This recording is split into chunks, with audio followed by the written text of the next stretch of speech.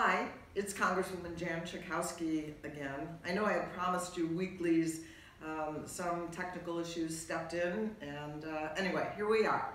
And I wanted to announce that we have a, a name. And I want to thank everybody who submitted names for this weekly meeting with you, this weekly address. We're going to do Jan's Pan, okay, Jan's plans and pans. Mm-hmm. So sometimes I have positives, sometimes not so much. Anyway, a um, couple things I wanted to talk to you about today. I am wearing orange, mostly, today. And the orange is uh, relating to gun violence. Um, one of the girls that was, was murdered, what, her favorite color was orange, and it's kind of become the color of the gun violence prevention movement. Um, and so uh, we had a, a, press conference. Nancy Pelosi was uh, there, and, and, lots of photos. So I wanted to explain that first because you're you may be wondering why does she have an F on her chest? And that is because I am proudly showing the grade I get from the National Rifle Association. That's what I get um, pretty much every year. Oh, every year. Um, and, and I'm proud of, of that. And I believe that the politics of gun violence now has really changed. Of course, we had that terrible um, incident again in, um, in, Virgin in Virginia, and you know, who knows what will be next. And then there were 58 people shot in Chicago last weekend. I think 10 of them are dead. The daily violence that we face. Have to work on, on that. Um, yesterday I wore white because it was the 100th anniversary of the day that the United States Congress voted um, for women's suffrage. We don't say giving women the vote, where when women won the right to vote.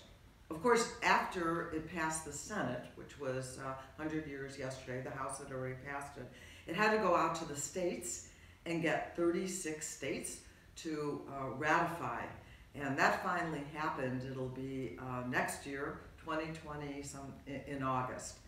Um, and so this is a very, very special moment. The women's suffrage movement went on for 72 years. A number of the women who were involved early on never lived to see that happen, but they persisted. They're, uh, I'm standing on their shoulders, all of us are, all of us women who, who vote. But you should also know that when women's suffrage finally did pass, African American women, Native American women were not included. It took years for that to happen. So we're still in this fight to protect the right to vote, to protect the integrity of the, uh, uh, of the vote. Um, this uh, movement continues on. And then yesterday was a very good day in the House of Representatives because we, we passed what is called the Dream and Promise Act. The DREAM Act, reinstating the idea that people who have come to the United States as children, who have made the United States their country, that those people that we call dreamers will be protected from deportation, will be able to get permanent status, will be able to be eligible for college loans, will be able to pursue their careers without the fear constantly hanging over them. It also applied to people who have been here on temporary protective status. A number of our neighbors, for example, from um, Haiti, um, are now protected from deportation. Many of those people have been here for 10 to 18 years. They have families, they have businesses, their children are, are citizens in, in, in this country.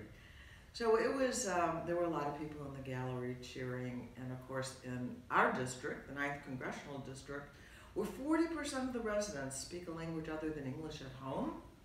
This was a very important step forward, but just a beginning. Let's remember, we still have the crisis at the uh, border. We still have a lot of undocumented people who fear every day that they're going to be um, deported from this, this country. We still have the anti-immigrant rhetoric that we hear coming out of the, uh, the White House.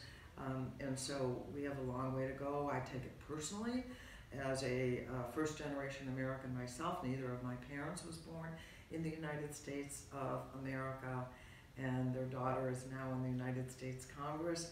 Um, and the best of the best come to the United States because they are willing to leave their countries. They're willing to come here and work hard. Some of them are fleeing violence. We have to do better because no matter what the President of the United States says, we are a nation of immigrants. And that is what makes us great. So I'm happy to talk to you this week. I look forward to talking to you next week. Thank you so much.